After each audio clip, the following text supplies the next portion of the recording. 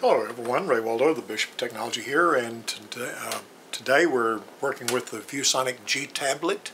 If you have one of these, it is a nice uh, Android tablet, but has a lot of good hardware, Tegra 2, uh, but the problem is the tap and tap software that comes with it is, is trash. So uh, what we need to do is perform uh, the NV Flash and so the way we do that is we hold the power button and the minus volume button. Uh, okay, we've got it on, but uh, we're going to power it off first. Uh, power it off. Hold it power button down long enough there to uh, power off. Okay, there we go. And press power off. Okay. And uh, we're going to do something called APX mode. And APX mode will uh, put us in position so that we can use the NV Flash program. Now, if you need any of these files, they're available on my website, raywaldo.com.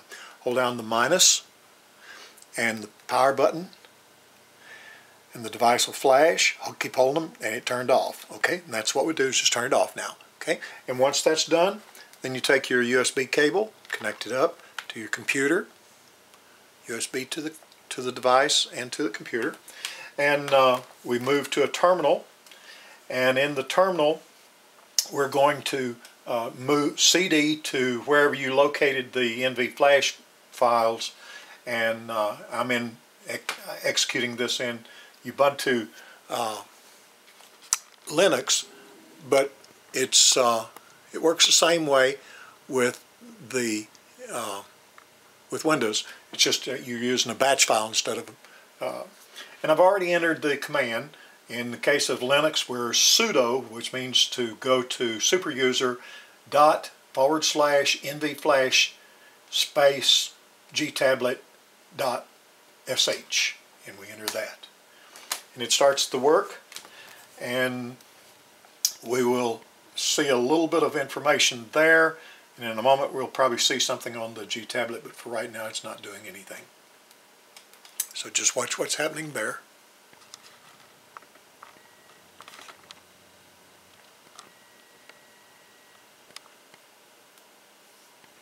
And this is in real time so you get an idea how long it's going to take. It does take a little while. Now notice we've got a little bit of information coming up at the top here on the G tablet. Uh, it's hard for focus, but it says entering NV Flash recovery mode uh, slash NV3P server. And that's all you see for a little while here.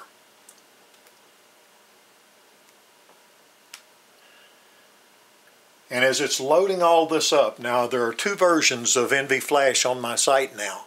Uh, one will put a 250 megabyte uh, system partition, which is generally what most people will use.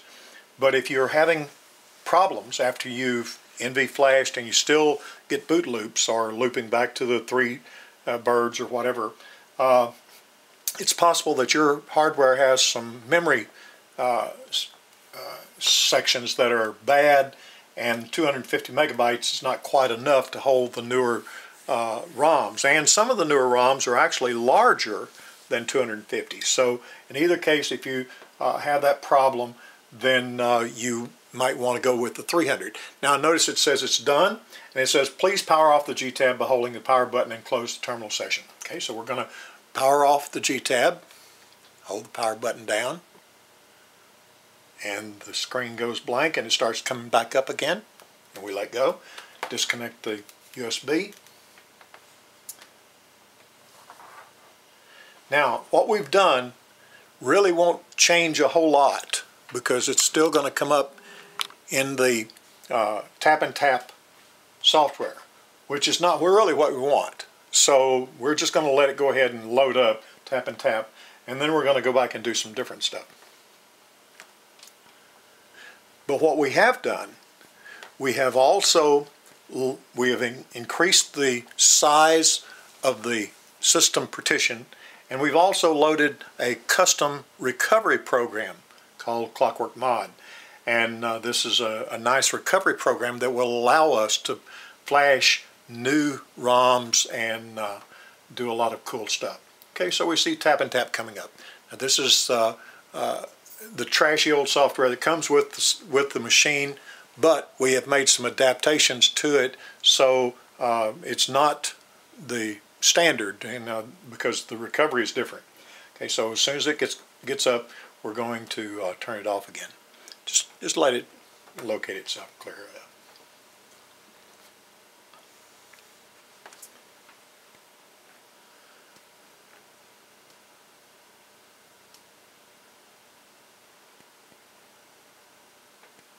It takes a while for the first time for any of this to load up. Actually, to save a little bit of time, I'm not even going to bother.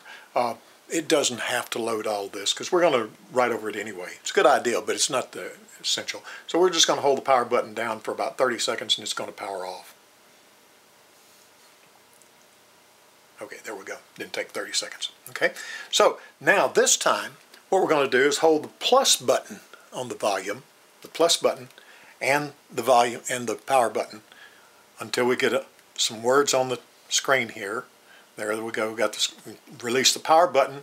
Keep holding the plus button. Okay, and let go. And there is our recovery program. Okay, so the first thing we want to do is go down to mounts and storage, and you can use the volume plus and minus buttons, or you can use these up and down buttons here. So we're going to go down to mounts and storage, and then hit enter. And enter we want to go to USB storage, mount USB storage, and hit enter. Okay, and so we plug back up the USB cable. Okay, and we go back to our our uh, computer, and we have another screen open up. You see? Okay, now this is the screen that shows what's on the device itself. This is, is it loads itself, calls a 12 gigabyte file system. Uh, I'll come in a little closer there so you can see what we're looking at. Okay, and this is the root of the device.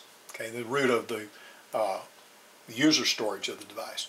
Now, the file that I'm looking for is the Team DRH uh, beta. The current version is 1.3. I'm going to right click and copy that and then come back over here to this one and I'm going to right click and paste it. Okay, and it'll copy it, and there it is on the bottom line coming up. Uh, and you'll see it, it's copying the file, and it's going to copy it to the root of our device.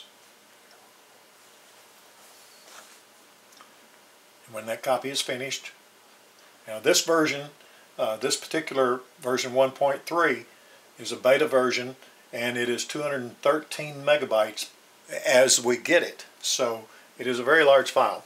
Okay, so now we can close all this. We're through with the computer. And we, of course, we always want to go down here to the device, and it's 12 megabytes. I'm sorry, you're not seeing that. 12 megabytes. We're going to right click and we're going to safely remove it. And again, this is a little bit different in Windows, but not much. You just see different icons. Okay, uh, Safely remove it doesn't want to remove. Okay, so uh, what we'll do is go over here to our device, to the G-tab, and unmount. Okay, and that'll do the same thing. Okay, and it goes away on the screen. All right, so every now everything else is going to be done on the G-tab itself. Okay, so we'll move down here, disconnect the cable, and what we want to do now is go down to uh, or actually want to go back and we want to wipe the data and reset, factory reset. So we go down to factory reset, enter that, make sure we agree, yes, enter that, okay. And then, uh, well, I made one mistake. I copied the file too quickly. Okay. Well, anyway, we'll come back. I'm going to erase the file now that when I start cleaning, I think. We'll see. No, I shouldn't. That's right. It's still going to be there. It takes just a moment for it to format the data and get all of it, format the partitions, get it all done. I'm doing it in real time again, so you see how long it takes, and uh, you won't get anxious if things don't happen as quickly as you think they should. Okay, so you see the little uh, Android ro robot there, and it's wiping and formatting the data and uh, all the different partitions that it's supposed to. And we're going to wipe the Dalvik cache and we're going to wipe the standard cache. That some people say the standard cache is being wiped in this particular particular uh, reset to factory anyway, but uh, it's just a good idea. Doesn't hurt. Do it a couple, couple of times you need to.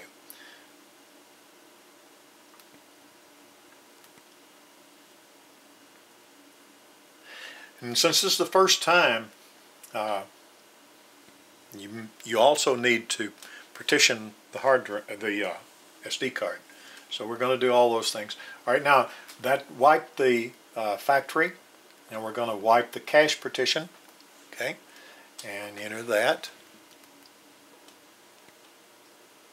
and tell it yes.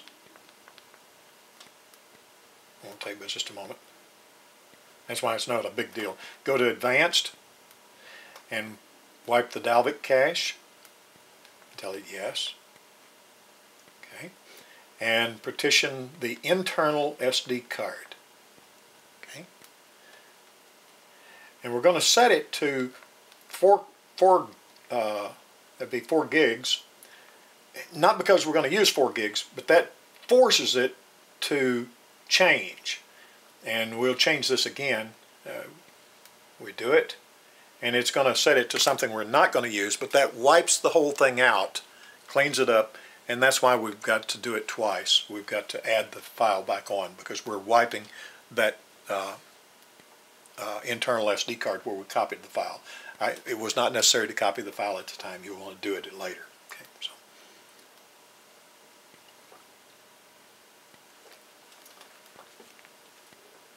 So we're partitioning the SD card.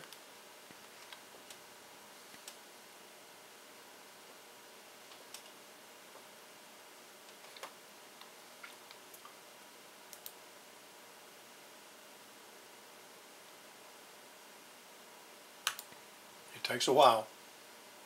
Just be patient.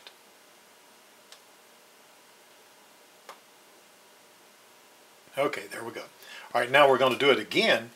Partition the internal SD card. And this time we want to set it to 2 gigs, 2048 megs, and 0 megs for the uh, second. So we do it one more time. By doing it to the 4 meg or 4 gigs to begin with, it forced to change and make sure that it wipes and then wipe it again and, and partition it to the correct. Okay. So the process uh, would be rather than to mount and copy the file previous to doing the partition, you want to mount and copy the file after the partition because you got to do it again anyway. Okay. So when this is done, we go back to the mount mount up and copy the file again because it's wasted the first time.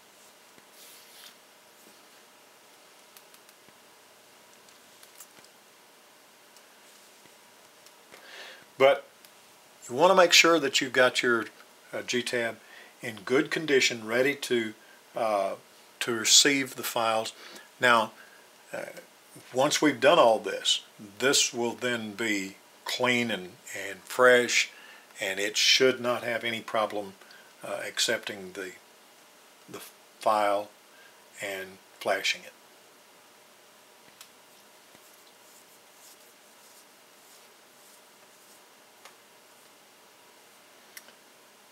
Should be just about through now.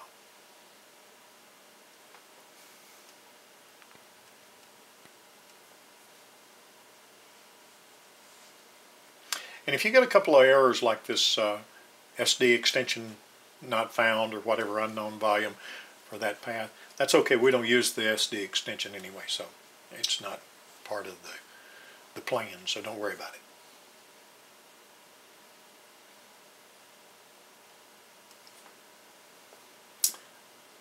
See how easy it would be to get ahead of yourself and say, hey, nothing's happening, something's wrong.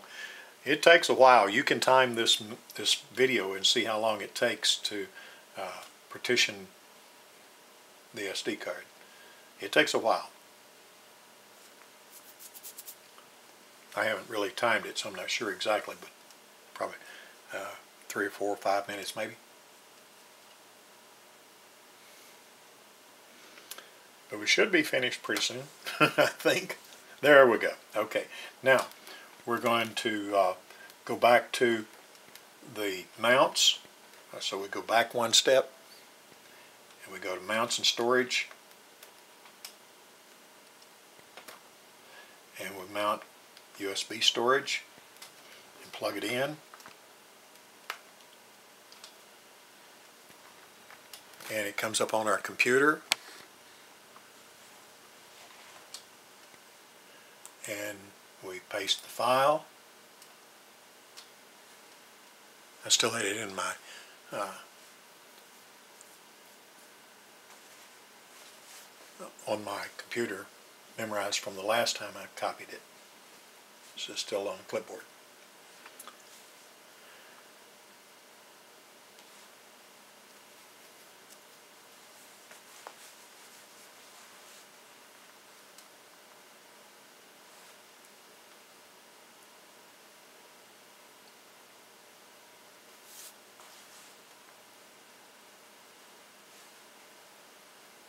Now, one other thing that I didn't particularly mention is that before you start all this, you really should do a backup. But if you follow my guide, my guide includes all those steps and puts it in the right order.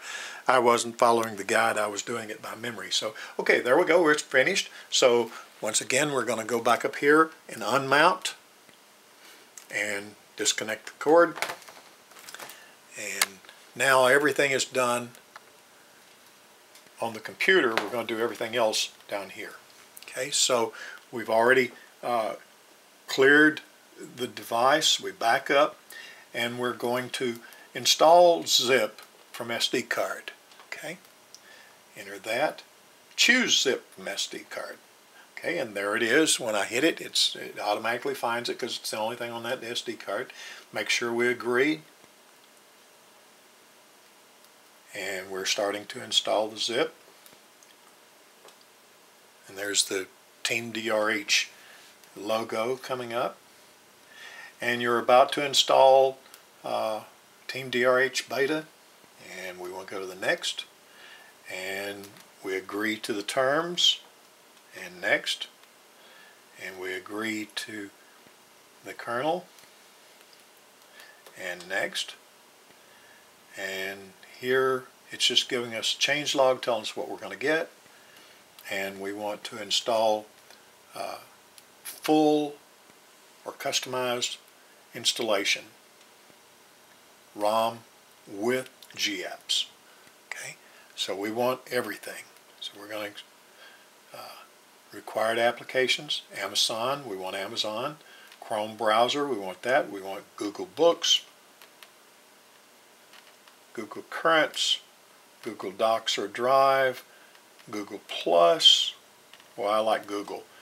I'm not sure what the Genie widget is, but we're going to try it. We can take it out easier and we can add it. Just take the whole thing. I think that's what the uh, music magazines apps to delete. Yeah, we don't need the phone because we don't use the phone. The telephony provider. Now, actually, uh, I do use this because I use something called Groove IP which is, uh, uh, and I think it uses all of this, and the voice dialer, and uh, I don't use the DSP manager, but it's a pretty cool thing to have there.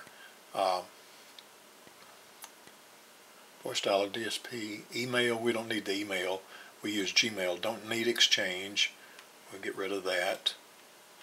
Uh, Elixir, I forgot what that is, I don't need it. I like the sound recorder video editor, I'll probably never use it, but it's alright. Boot sound, uh, we'll let it do the boot sound. That kind of sounds kind of cool. Uh, and after it installs, what do we want to do? We want to reboot after install. Okay, so there we go. And we hit next, and it starts installing the programs. And ROM And so when it gets through, and it's giving me the progress bar over here that I'm uh, just barely getting started, 0.383%. There's 1%. So it's going to take a little while. It doesn't take as long as that. And There it jump, it's jumping real fast. And it starts moving pretty quickly. It probably takes about uh, three or four minutes to install uh, the whole thing. But it's going to install the ROM and the GApps and everything. And then all I have to do is reboot and um, do my setup and the Android setup. Basically just uh, set up my Wi-Fi and uh, set up my email account, my Gmail, uh, Gmail account, and then most everything uses the Gmail account, uh, all the Google stuff, we use the Gmail account to log into those. So it's really pretty cool, and um, then I might have to add some more of my uh, applications, my apps that I have used before, because this is all clean. Now, while it's doing it, I'll just tell you also that uh, the Google Play Store, where you get your applications, if you install applications from one device, they will be available on another device. They're easy to find. If you purchase an application, generally speaking, not all, but most applications, if you purchase an application on one device, you can use the similar device, uh, similar application on another device, and they'll show up as purchased. Okay, we're installing the G, G apps, as you can see here.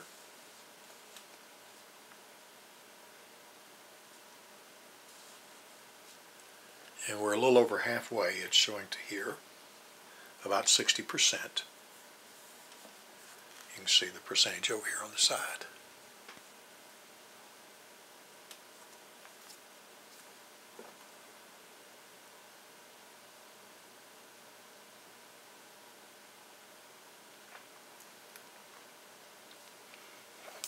And again, I do everything in real time, so you see my uh, foibles and my mistakes, as well as how long it takes to do something.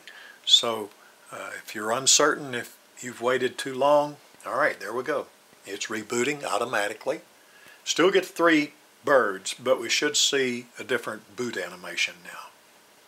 Now the first time any ROM boots, right after you're installed, the first time, it can take several minutes, maybe up to five or six minutes for it to boot completely because it's got to set itself up and do a lot of stuff internal. So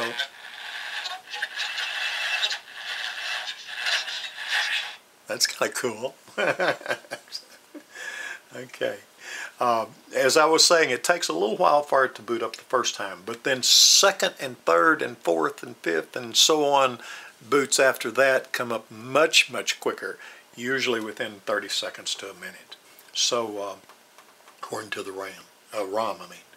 And uh, also, when you first install uh, a ROM, after you do your setup, it's going to take, it's going to be slow because the ROM is actually still writing stuff and setting up configurations insert inside the machine itself that you're not really aware of. And uh, if you're restoring applications, they're downloading from the Wi-Fi, so everything seems very, very slow. It's a good idea maybe just to set it aside for a half hour or an hour maybe, uh, according to if you uh, are restoring applications or not. If you're not restoring applications, about an hour. If you are restoring applications, you've got that all set up. It's going to take a while for it to download all the applications and install them. So uh, again, it's a good idea maybe just to set it up and let it set overnight and uh, do it on power and it won't go down on you. And uh, then the next, next morning it should be operating pretty well.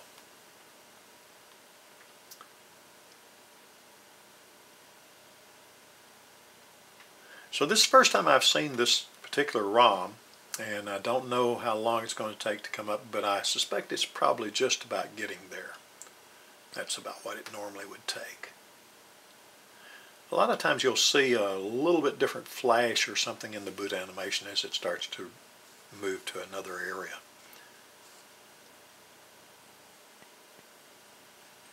There we go. Okay. Now, uh, at the Android screen, you just hit start and start entering your information. Enter your uh, your Wi-Fi and then your uh, Android and you're in business. Okay, so the next time we'll give a little bit of a review of what this particular ROM looks like rather than watch me set up mine. All right, have a good night.